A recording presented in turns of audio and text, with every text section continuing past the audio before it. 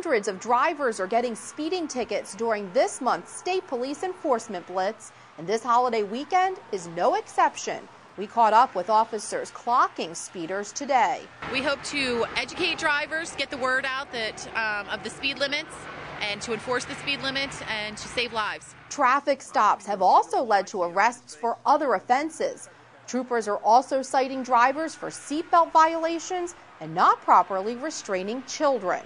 For Delaware Online, I'm Patty Petit.